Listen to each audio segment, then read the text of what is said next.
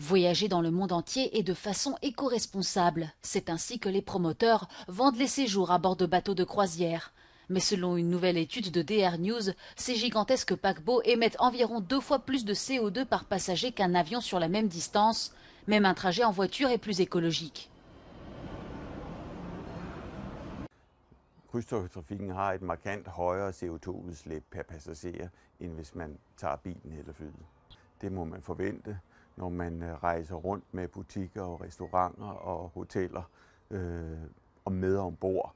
Det i sig selv gør jo, at det er helt anderledes, end hvis vi bare kører vores bil eller hvis vi tager vores fly. De nombreux passagers arrivant par bateau de croisière à Copenhague ne savent cependant pas que ce mode de transport émet plus de gaz polluants que la moyenne. I did not know that, so that, that shocks me. I thought I was choosing a, a boat that is more environmentally conscious.